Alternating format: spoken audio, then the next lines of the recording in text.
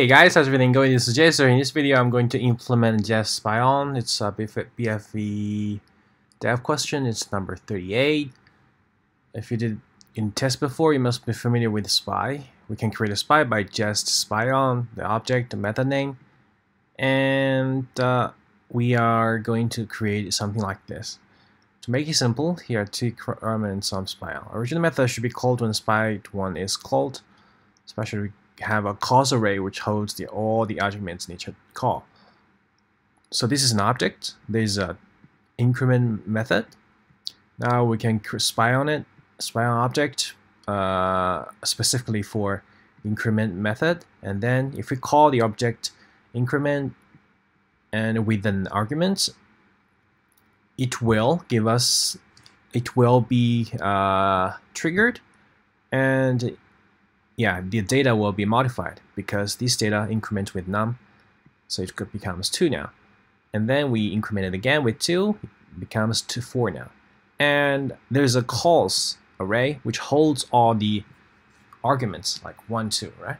Mm -hmm. So this is not difficult. Um, I think we just, uh, I'm not sure whether the spy on was originally how uh, it was implemented, but uh, uh, we could just replace the increment with our own wrapped version, right? We wrap this method with the right this object and arguments and an extra uh, extra logic to update the calls me method, uh, calls array. Cool, let's do it.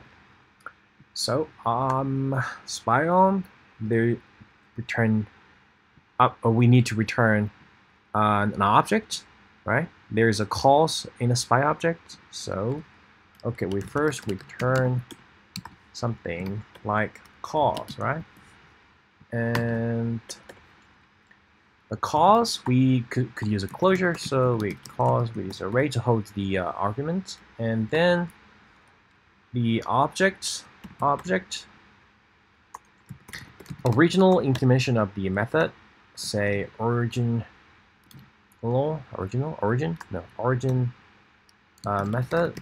It's uh, object method method name.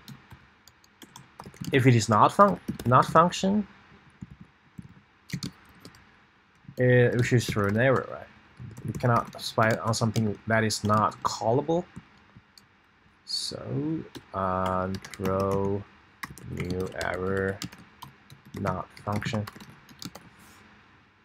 Okay, then we set set it with a new method. Okay, there's no quotes here. We set it with a new function because this function needs to have to write these, right? So we use a normal function of arrow here.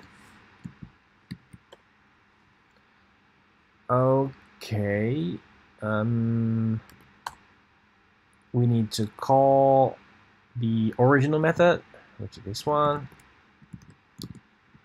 Okay, the arg should be here. We could use apply this arg, right? Yeah, this is the new method, and we need to return the result. So this is how we replace the method, right?